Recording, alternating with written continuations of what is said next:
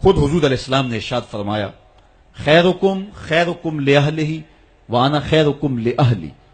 تم میں سے بہتر وہ ہے جو اپنے اہل خانہ کے ساتھ بہتر ہے، اور میں تم میں سب سے زیادہ اپنے اہل خانہ کے ساتھ بہتر ہوں۔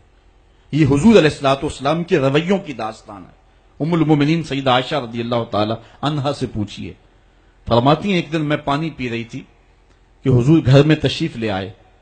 مجھے دور سے دیکھ کر کے کہا، عائشہ ذرا تھوڑا سا پانی میرے لیے بھی چھوڑنا۔ تو کہتی ہیں، میں نے پانی چھوڑ دیا۔ حضور قریب آئے، میرے ہاتھ سے اب خورا لیا۔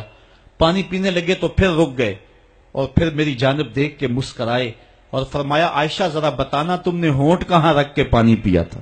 مجھے بتائیں، اگر شوہر کا رویہ بیوی کے ساتھ یہ ہو تو پھر گھر جنت بنے گا یا کہ نہیں بنے گا؟ تو کہا، مجھے یہ بتائیں کہ تم نے ہونٹ کہاں رکھے تھے؟ یہ حضور کی سیرت کا وہ تابناک پہلو ہے۔ آج جس دور سے ہم گزر رہے ہیں، ایک دوسرے کے جھوٹے کو ہم اپنے لیے جو ہے وہ باعث آر سمجھنے لگے ہیں۔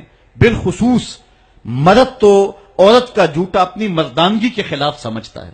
تو حضور کا یہ رویہ، حضور کا یہ انداز کرم، یقیناً حضور علیہ السلاۃ والسلام کی سیرت کو اس انداز سے ہمارے سامنے رکھتا ہے کہ جیسی صورت اور سیرت میرے محبوب کی ہے، زمانے میں کوئی ایسا شخص نہیں ہے جس نے ایسی سیرت پائی ہو۔